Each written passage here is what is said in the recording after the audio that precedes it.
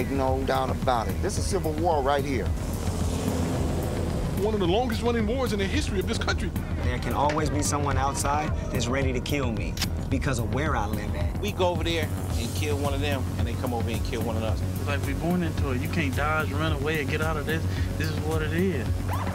You have people of the same ethnic makeup murdering each other at epidemic proportions, and no one is noticing.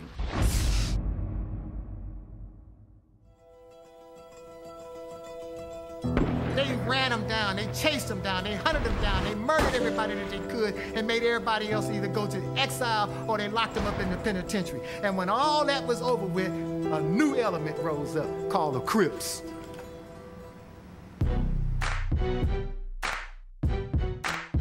Yeah.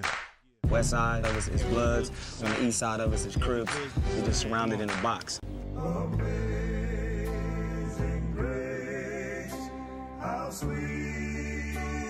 See,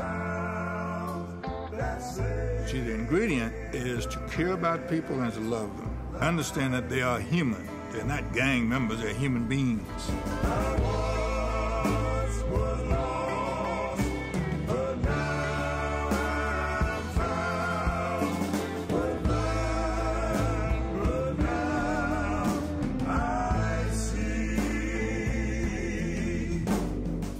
Open them up, a stamp under their shirt that says Made in America.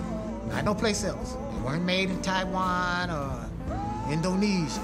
They were made in America.